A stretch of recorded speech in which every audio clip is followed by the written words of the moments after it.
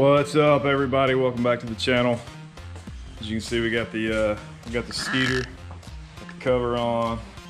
We're all packing up, man. Getting ready to go down to Sam Rayburn for a Super Series tournament, BFL. Uh, sitting 10th in the points right now. Got a shot at Angler of the Year, maybe. I I don't know. Uh, really. Uh, yeah, I, I, can't do all the math in my head. I don't know how many people are going to show up. Uh, with gas being the way it is, uh, maybe maybe more people will show up. Pretty excited.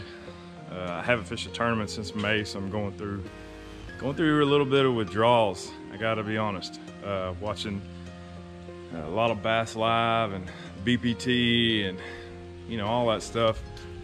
I'm just a big fan of the sport, and I kind of I'm kind of envious of those guys a little bit. Uh, I've got an awesome family at the house, and uh, quite frankly, it's just kind of hard to leave them now. I, don't want to. I don't want to be on the road as much as those guys have to be on the road. That is just. I can barely drive to Dallas without. Of course, you got to stop at Buc-ee's. Uh, if you're from Longview, you know where Buc-ee's is. That's that's the number one pit stop on the way to Six Flags. So, um, anyway. Uh, I'm going to show you some more videos. Hopefully I'm going to carry along for the ride and we have an actual good tournament. I haven't been to I haven't been to Sam Rayburn in gosh, uh, April or March. I can't really remember. Uh, we've had a lot of rain, a lot of flooding. Uh, Dallas, Fort Worth, uh, they got pounded. I think they got nine inches of rain or 11 inches of rain in like a six hour window or something. It's crazy. Uh, Longview didn't get a whole lot. We got we got enough. Uh, hopefully get us out of a burn ban. But unfortunately for me, uh, me and my partner Brad, he he got this huge yurt tent, like canvas style expedition tent, and uh, we are trying to keep the cost down. So we're like, man, let's just stay in the tent. We'll, we'll put a get a get a uh, campsite at Twin Dikes real nice campgrounds on lower in the lake. Let's just go cheap, you know, just camp it. And uh, lo and behold, my luck anyway, all the rain is headed to Sam Rayburn. So probably doing all this prep work and then wind up getting a hotel anyway at Rayburn Inn. So I'm not sure yet. Uh, I haven't tent camped and honestly, I cannot remember. I was probably a little kid by then, but um, anyway, tomorrow morning, up bright and early, headed to Sam Rayburn, and uh, I look forward to showing you the ropes, or actually, uh, not the ropes. You don't need to show the ropes. I'm gonna carry you for the ride, so y'all stay tuned. All right, we are on our way to Sam Rayburn. Just dropped my daughter off at school. Um, I'm pretty excited about the forecast. It doesn't look like there's gonna be as much rain as they said it was. Uh, so the tent camping is not going to be near as bad. And uh, but my buddy said he's got an air conditioner for it, and it was so cold in the tent. He said he's sleeping in toboggan tonight. So I'm uh, I'd rather be cold than hot any day. So I'm excited about that part. I was I was you know fully prepared to just be sleeping in your underwear and taking a bath in mosquito spray just to be able to sleep. But uh, yeah, we are two hours. I just left Hallsville, so two hours. Hopefully, we'll be on the water and uh, start breaking down Rayburn. I, you know, Rayburn for me has always been a little bit of a a mystery. Uh, things that um, you think would make sense or really look good and uh, there's no fish on it, like ever. I don't know if there's a bass has ever been caught there in its entire since the lake was filled up. I have no idea. They look good on paper, and that's all you can go with when you're practicing. So, fortunately, I found a lot of brush piles over the years, and I just know in my heart that eventually I'm going to roll up to one, and there's going to be a giant fish waiting for me. So, hopefully, that happens this weekend. So sitting 10th in the points. And I don't know how it really works because the Super Series is a double points qualifier. And uh, I mean, who knows? Like five of the guys that are ahead of me right now might not even show up for this tournament. I don't know. Um, so I just we'll see what happens. I'm not really worried about that as much. Um, I just want to make it to day two. Uh, last year was really tough. I think you only had to have 13 pounds to make day two, and uh, I just want to do that one time. I just want to. I want to catch the fish on Sam Rayburn when I actually need to catch the fish, and uh, when they count. So and so I've also had a lot of bad luck on Sam Rayburn. I've lost a lot of big fish. Uh, I remember a, a Costa Costa event. Gosh, three three years ago. Yeah, three years ago. So I was skipping a swim jig around cypress trees, and uh, I had one literally hit this thing. I mean, a big fish. Uh, she hit it as soon as it hit the water, almost kind of like a frog bite. And I was reeling her back to the boat.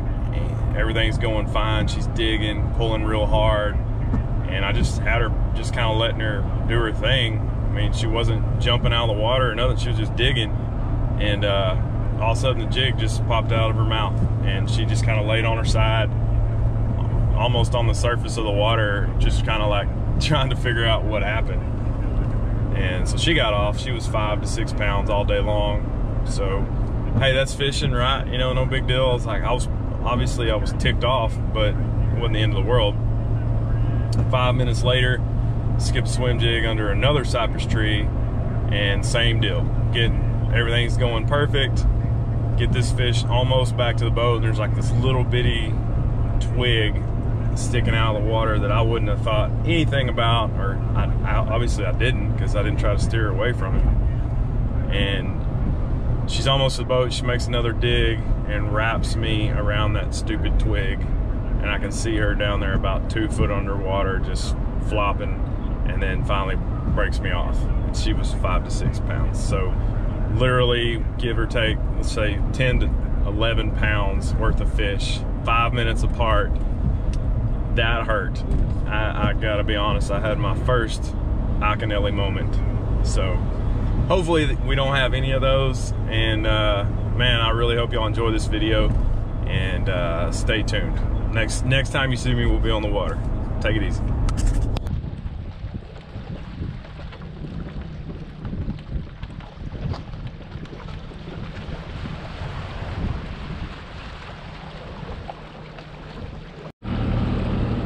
All right, all right, all right. We are officially going to practice. So first thing we did was we got on the uh, Lake, Lake Sam Rayburn and checked the water level. And uh, it hasn't really come up like I thought it would after the big rains. Uh, we're still about almost four and a half foot low. So I am gonna change the water level offset on my Humminbird to, actually I'm just gonna go ahead and make it five that way I don't run across some sandbar and get my boat stuck. So uh, today is idling. Not a whole lot of fishing. We're just gonna idle around and look. We got the side scan going, we got it dialed. We're gonna go try to find that uh, proverbial needle in a haystack that a lot of the local guys always seem to, I mean, they live down here. They should know where that kind of stuff is. So uh, I gotta find it and I got a day and a half to do it so uh, yeah let's do it. Stick with me. Hopefully I remember to turn the GoPro on from time to time. Y'all be good. All right man we had a good first day of practice. I'm headed back to the ramp now. Found some uh, found some new spots. I went to a lot of new stuff today. Try to every time I come to Rayburn, I try to go somewhere I've never been and uh, find different brush piles, different rocky points, ledges, just, you know, not go to the same thing every, th every time hoping for a different result. So uh, had a lot of fun. You can see behind me the rain's basically making me come in before I'm ready. So uh, I love this place, man. Lake Sam Rayburn is so beautiful. So anyway, I'm gonna get back to camp and uh, just try to try to get settled in and see what this yurt looks like. So uh, hopefully we'll figure that out here in just a little bit. we got to see the yurt, the wedding gift. So this is home away from home right here.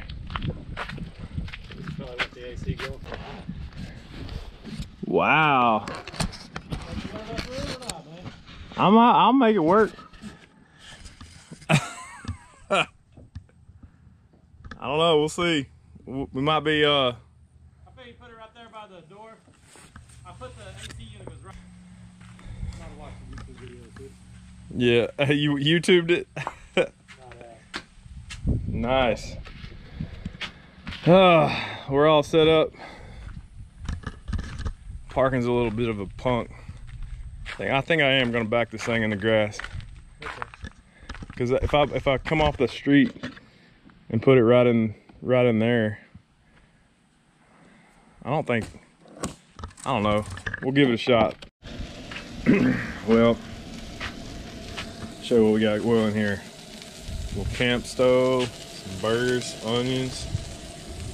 I mean, we just we live in that high life right now. Uh, my buddy Brad had to. Poor guy's got to go home drive all the way back to Longview. He's having boat problems. He's uh, got to go borrow borrow a buddy's boat, and uh, so he's swatch swip I can't even talk. He's gonna be swapping everything over to his uh, borrowed boat in the morning, and then hopefully he gets back down here and he gets to practice again. So.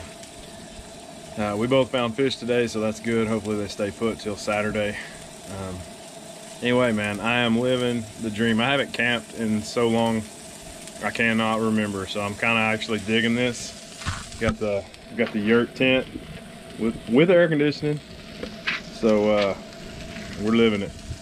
This is fun. So uh we'll see y'all in the morning. All right day two practice. Uh, again i found some stuff yesterday. I got two holes that i know i can catch quality tournament largemouth out of not just kentucky spotted bass. Now, one thing about this lake i've learned is some of the best looking offshore stuff you could i mean if bill dance was in the boat he'd be like let's fish here. It's gonna be fish here. And then it's nothing but kentucky spotted bass or white bass. Uh, i've never it's kind of frustrating. Um, so anyway, Got a lot of idling to do today. I'm actually idling over a little point right now. I'm gonna try to throw a buzz bait on some timber. That's just something I've had in my mind. It's kind of like home where you get up in the shallow flat with timber and early morning with the top water. And I just feel like uh, I feel like that's gonna be be the deal. So uh, but Sam Rayburn again is almost five foot low and there is a ton of ton of uh, timber that I didn't even know was there. And you want an eye opening too. Like you're like oh my goodness. I can't believe I've been driving by that this whole time. Kind of scary. Uh, anyway we're gonna go we got eight nine hours worth of practice again today and hopefully I can find a little more to make me feel comfortable because you know what I don't even know how many people are gonna fish this tournament could be a hundred could be a full field for all I know but uh boat number plays a big deal in these tournaments I could be dead last and I feel like one of the spots that I did find somebody else has to know about it. It was just too too good to uh, to not have a boat sitting on it. So hopefully that's hopefully it's me because I feel really good about that spot for sure. Um, caught a really good, nice four pounder yesterday on a crankbait, uh, and I'm I'm digging that because I like throwing crankbaits. I like to cover water and uh, it's just a lot of fun. A lot of a, a really fun way to fish. Um, so but I only got that one color in that crankbait. So if I catch them again on it today, then I will be marching my little butt over to Tackle Addict and cleaning them out because I only have one of that one of that color, and uh, it's like a chartreuse sexy shad uh, or pearl. It's, it's really good looking color. The water I've been fishing so far has been pretty clean. Uh, I, fish I caught, I mean, I can see them about five foot under the water fighting him back to the boat. So um, I just feel, uh, oh man, dude, you got to see this. This is why I love fishing.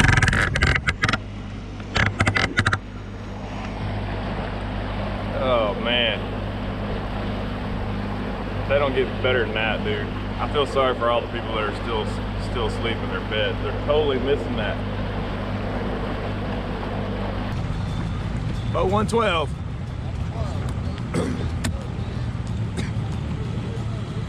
Ron and Jeremy, That's right. 415. 415. 112? Yes, sir.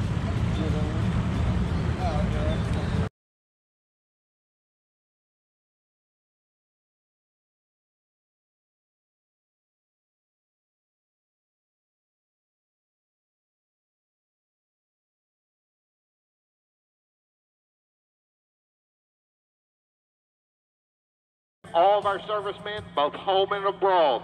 They're defending our rights and freedoms, so we may be here to do so. In the Lord's name we pray. Amen.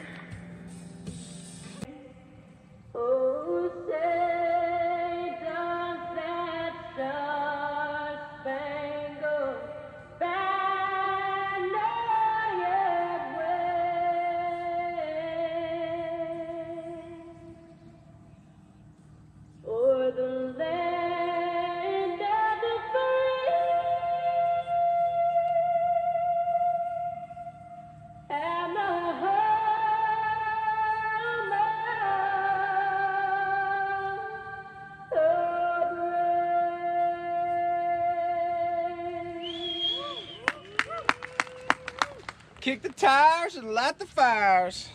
That's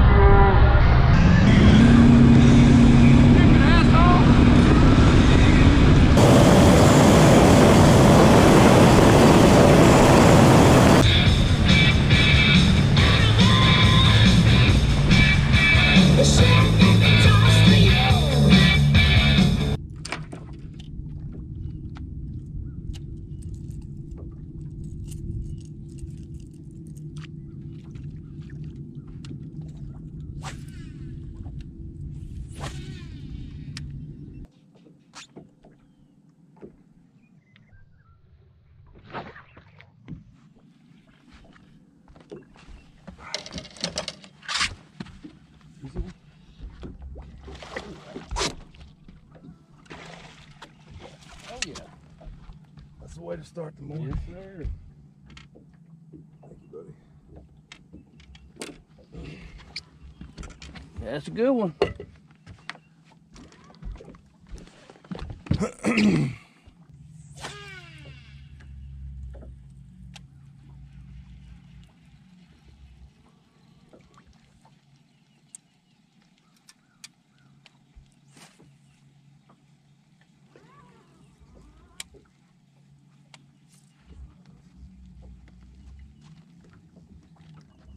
All I can say is we're fishing. That's all that matters.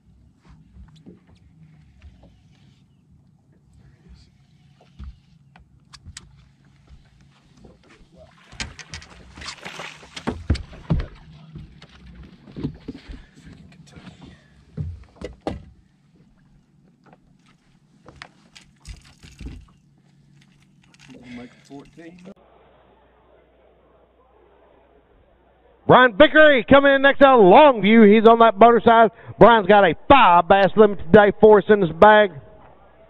His weight today, 11 pounds, 6 ounces. Got you a 29 spot right now, right there on the bubble to go fishing tomorrow. Thank you, Brian. Jeremy Bill coming in next out of Montgomery. He's on that he's on that motor side and he's got one I got nothing to say other than I'm sorry. I really tried. The you know tournament kicked off. You get in tournament mode. You're just you're wide open, and all you can think about is catching fish because every second counts. Every fish counts. So somewhere in the middle of the morning, after we got to our first spot, my GoPro's like shut off, and I never even thought to check it again. I'm so I apologize. I really wanted to to get y'all from point A to B for a change, and I just never can, can I never can seem to do it. And you know, so it's my hats off to those guys that can make a complete tournament video. You know, Brandon Palaniuk and Jacob Wheeler and you know all those guys. They they have it down pat. You know, Scott Martin makes a cool tournament video. Um, but anyway, I'm sorry. I will do better. We, we, we made it to the regionals, which is on Grand Lake in Oklahoma, and I will definitely, um, I will definitely keep an eye on it. I promise. I will. You, you'll get some fishing tournament video footage. Okay, so, and but anyway, hey, you know we had a good.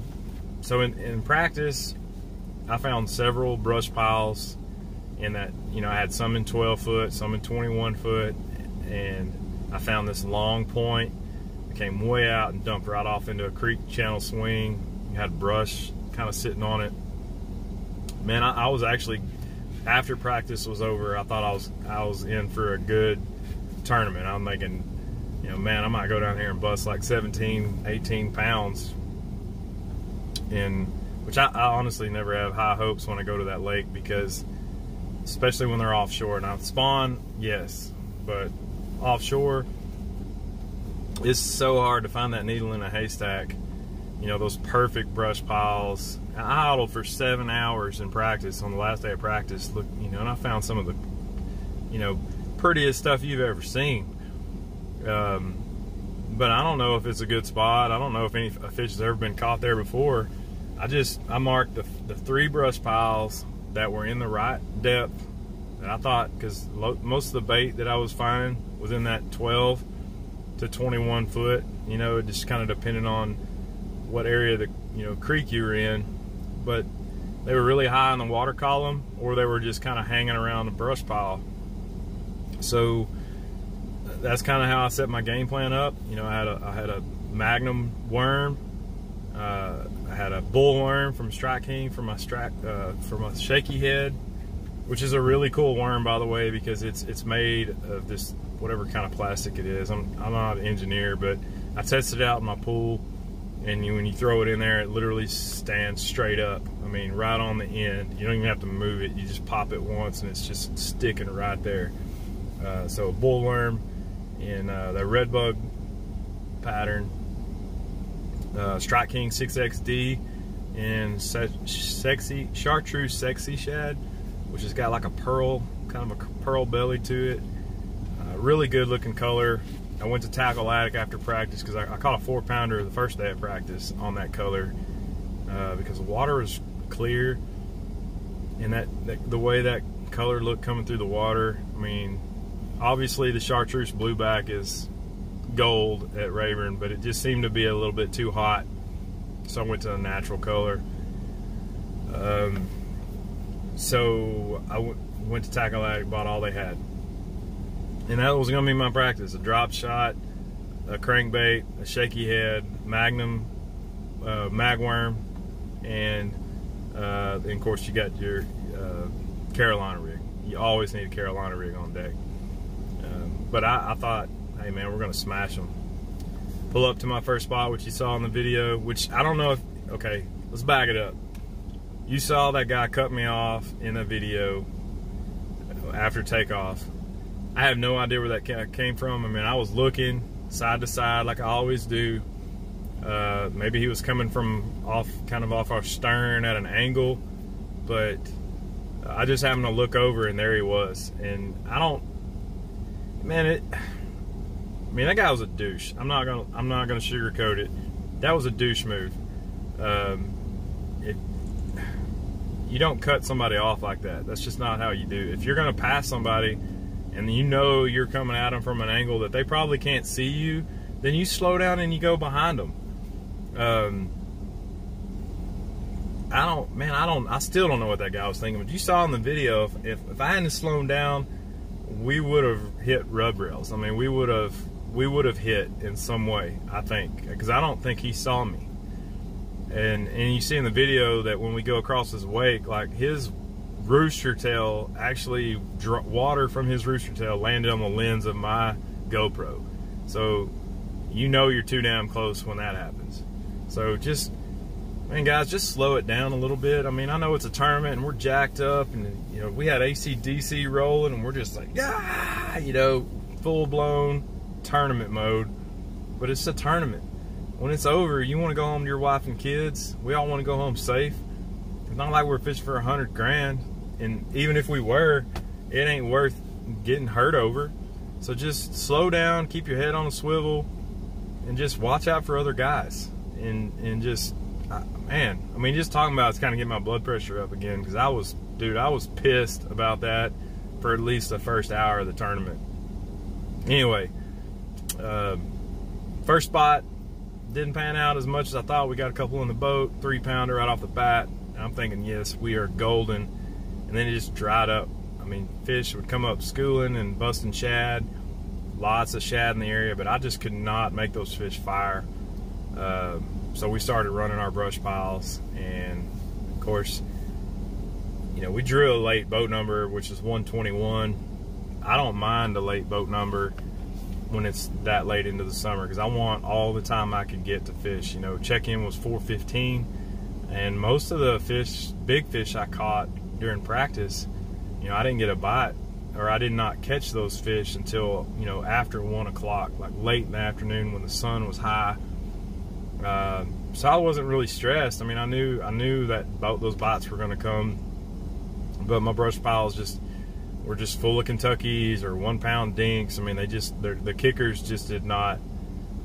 They didn't show up for me during the tournament, but we managed to get it done on some on some schooling fish in that was you know kind of close to my primary area. Uh, but we you know we got our limits. I went back to my primary area and I was throwing on a brush pile with a drop shot just kind of like we had about an hour left. I'm thinking you know they could be there so I'm gonna go back and finish the day. Pitching a drop shot in this brush pile I was catching Kentucky Kentucky Kentucky. Wouldn't help. Um, and you know I, I, I had 11 pounds, uh, right around 11 pounds, and I'm just thinking, you know, one one coal puts me. I was shooting for that 13 pound, 13 pound mark. Anyway, I threw in there, I thought it was another Kentucky man. I'm reeling it back. I can't really feel the fish. Not really, you know, it's not pulling hard or nothing and these are the kind of Kentuckies that just steal your worms, you know, like little one pound or half pound black bass and Kentuckies. That was all I was catching out of this brush pile, but I just felt like there was some decent fish holding around it if I could just get one to bite. And lo and behold, fish bites. I'm halfway reeling it back to the boat because I thought it was a Kentucky. It was like a two, two and a half pound largemouth. Just jumped straight out of the water right at the boat like a blue marlin and throws my drop shot. And how that happened, I don't know because normally when you hit a brush a drop shot fish you get them right in the top of the mouth and you own them but you know my luck like I told you my luck I'm gonna lose a key fish at some point and I did. Uh, I don't know on Rayburn if it's if I'm just having a bad day or if the lake is fishing that bad. I know it's late September so or late August and uh, I mean, you kind of have your hunch. So when we weighed in, and I weighed in 11 pounds 6 ounces, and Brad's like, "Yeah, man, you're you're right on the cut for to fish tomorrow." And I'm like, what? Okay, 11 pounds, 6 ounces gets me fish day two. I, I doubt it. Uh, so we waited around for a little bit, and a dude weighed in 11 pounds, 8 ounces, and I was out of the cut. And so 2 ounces, which goes back to that one fish, 2 ounces or 3 ounces to beat him, 3 ounces would have had me fishing day two, and I would have cashed the check and got paid. But hey, man, one day I'll get over that hump, I promise. So, uh, but again, so I finished 32nd for the tournament, and uh, I'm sorry, 31st in the tournament because the top 30 went, and man, we packed up and went to the house because I was tired. I wanted some air conditioning because that tent was awesome, but it was just being outside the tent. Like you didn't have anywhere to get to to get cool, like you would if you were staying in a house or a hotel or something. But anyway, we made uh, fifth overall in the points, and and we're going to Grand Lake in October. So that's that. Uh, I appreciate y'all sticking with me, and again, I am sorry for the footage. I promise I will do better, and I will. Next time you see me, we'll be on. Uh, we'll be headed to Oklahoma. So y'all take care, and we'll see you next time.